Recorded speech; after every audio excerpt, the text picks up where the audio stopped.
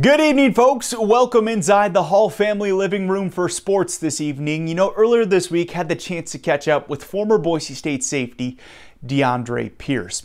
When DeAndre was healthy, he was an instant impact player for the Broncos defense over the last four seasons. The big emphasis when he was healthy, missed a lot of time due to injury. DeAndre decided to graduate this past spring semester and transfer to Arizona State to finish up his collegiate eligibility as a grad transfer. He'll play for the Sun Devils, which of course reunites him with his dad, former Giants Super Bowl champion linebacker Antonio Pierce, who of course is the Sun Devils defensive coordinator. Caught up with DeAndre to catch up on how life is going, as well as how tough it was to leave Boise State you, you look filled out, man. What's uh what's the key to adding the weight? Uh, really, I try to eat just consistently, like um, throughout the day, not just really big meals, like kind of every like like two or three hours or so. Just trying to just keep eating throughout the day. I got all the way up to about like 100 and like 92. Like the highest I was really at at was like 183. Obviously, uh, made the decision to, to grad transfer from Boise State. What led into that decision? Um, well, you know, like I said, I've been hurt the past two years, and so like out of like I think that I mean, I, and I know this because I thought about it. Like, you know, the last like 28 games, like in the past two seasons, I was only able to play eight of them, and so you know, really like to give myself, I feel like the best shot at the next level. You know, I feel like I needed to really challenge myself. Um, like you know, with better competition. You know, the Pac-12 game, it's a consistent battle every day. Obviously, like top schools like Oregon, Washington, USC guitar.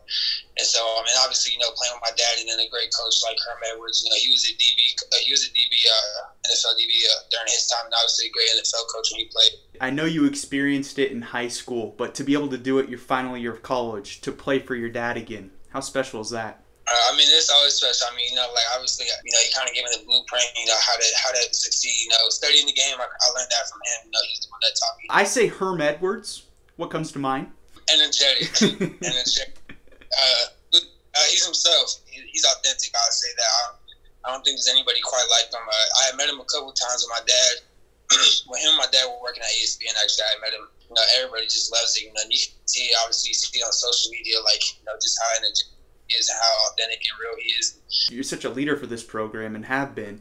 How tough was it to leave Boise State? Uh, it, it was hard. I'd probably say the hardest part was really leaving my teammates. All the good times, all the bad times those are my brothers. That was probably the part that hurt the most. There's nothing about like obviously I have no feelings toward our hard feelings. Or, you know, I want nothing but the best for them. Your goals, aspirations for your senior season at Arizona State, what are they? To put it simply, I just got to ball out. Like I said, you know, I haven't been playing a lot, so you know, just being just being super productive. You know, kind of the one thing, especially like for DBs, I was like super Curtis, like big time like stats for him is like sacks, forced fumbles, things like that. Like for DBs more so, it's like interceptions, pass breakups you know, force fumbles, fumble recovery, like that. I think those turnover worthy plays is kind of what really makes you know a great DB. You know, obviously if you're a corner, you're shutting everything down. That's one thing, but you know if you're consistently you know ripping the ball out, picking it, um, disrupting plays, I feel like that's what really stands out for DBs. So um, really going into my senior year, that's what I'm just trying to make those big splash plays.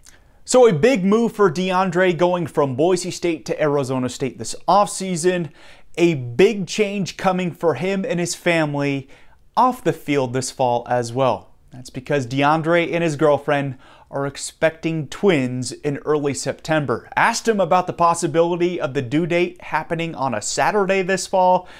He says, No worries, I will skip the game if need be. I will definitely be there for my girlfriend. Very excited about the future ahead for us, is what he told me in our conversation. So, a big fall for DeAndre on the field as well as off the field this fall.